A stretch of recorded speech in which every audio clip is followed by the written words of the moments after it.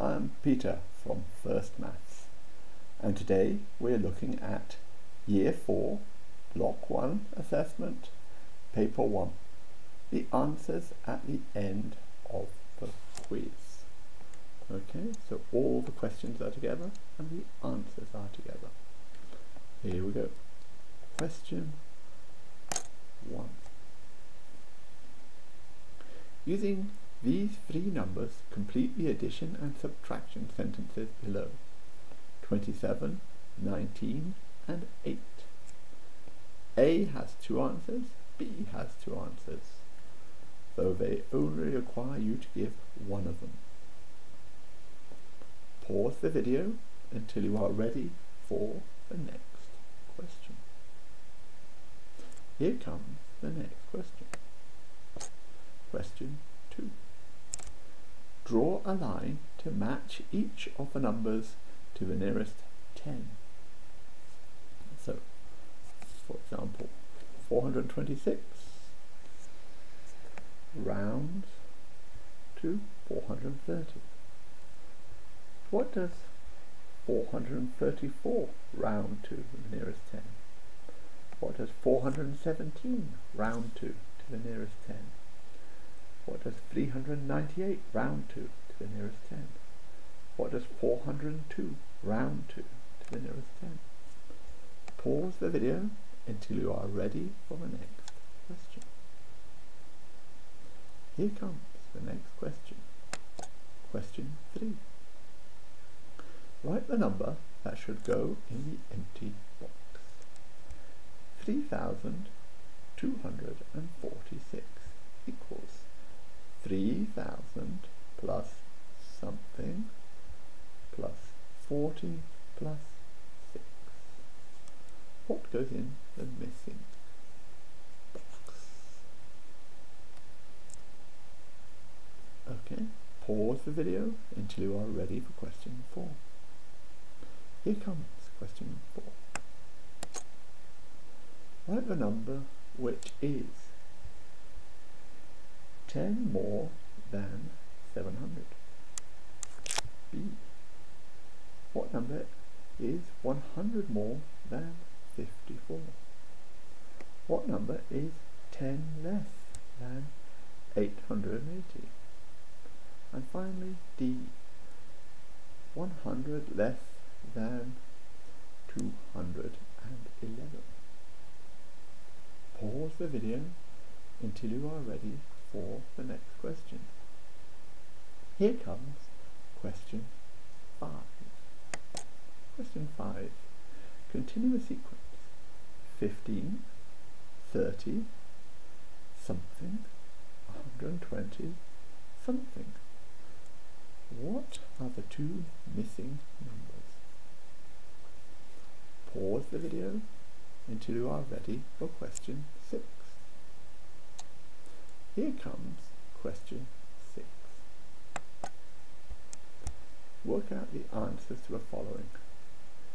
672 plus 53 equals what?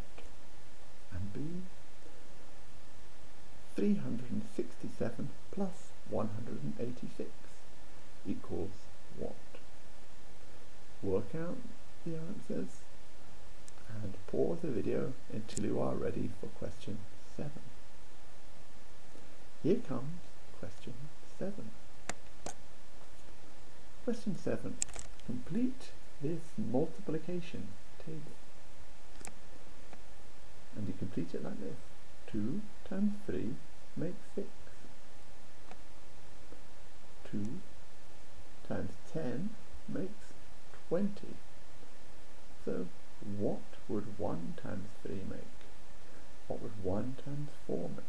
What would 1 times 10 make? Pause the video until you are ready for question 8.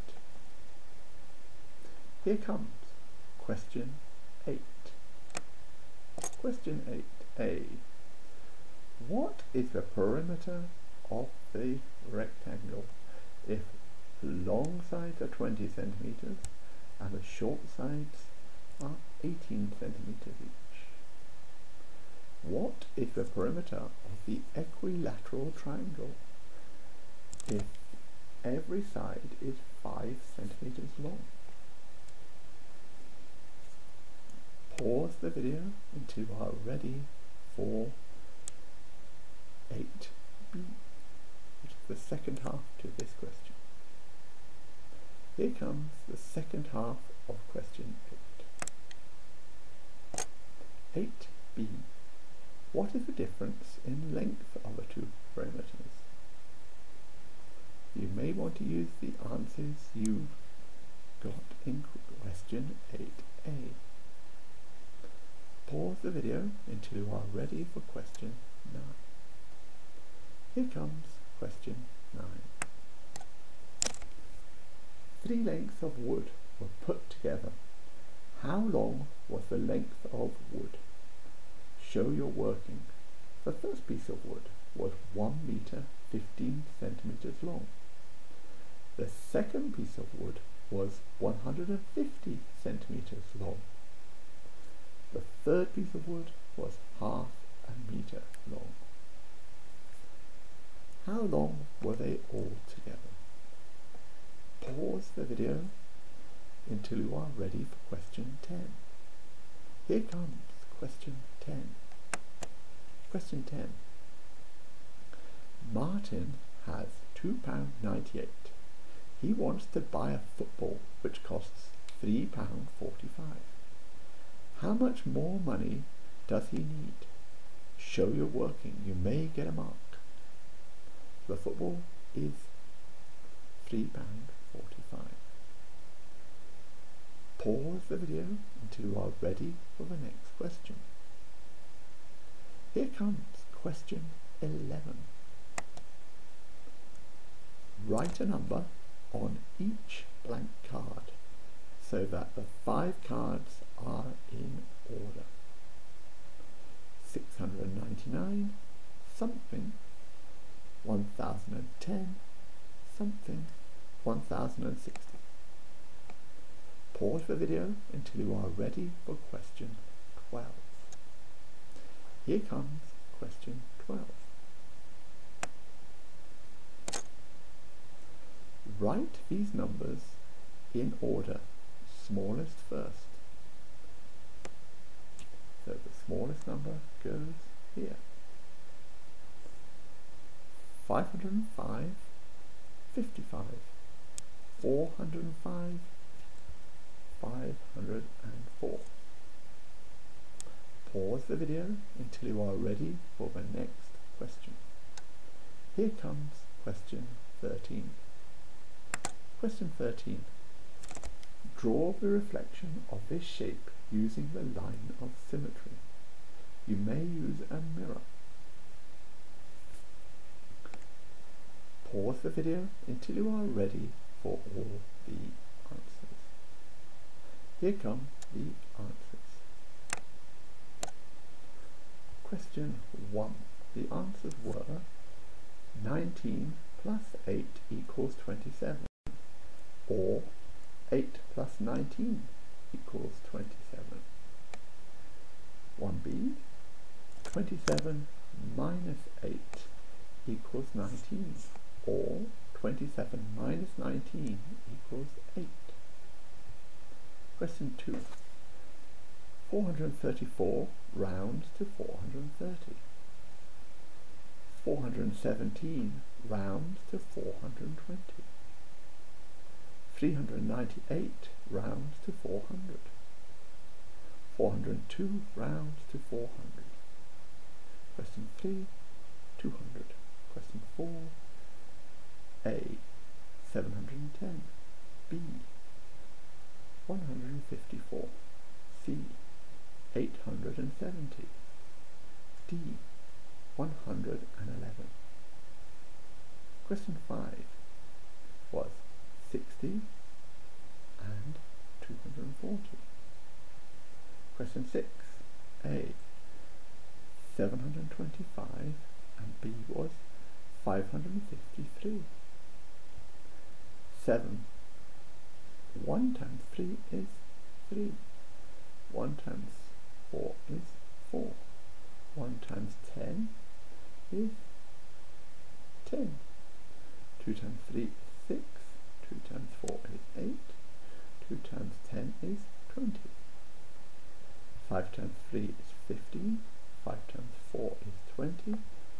5 times 10 is 50. 10 times 3 is 30. 10 times 4 is 40. 10 times 10 is 100. Let's look at question 8's answer. Question 8. 176 centimeters for the rectangle perimeter and 15 centimeters for the triangle. And if you take away 76 minus 15 equals 61. Question 9. The answer was 3 meters 15 centimeters or 315 centimeters or 3.15 meters. Any correct method is good. 10. 47 centimeters pence is the answer. 11. Any number from 700 to 1009 inclusive. And B. Any number from 1011 to 1059 inclusive. 12. The answers were 55, 405, 504, 505. And question 13, the reflected shape was drawn correctly. Thank you for watching. If you liked this video, please give it a like below. Please subscribe to my channel and also press the notification bell to be informed every time I upload a maths resource. I like uploading maths quizzes, maths games, maths lessons, and all sorts of maths fun stuff. So I look forward to seeing you again soon. Bye!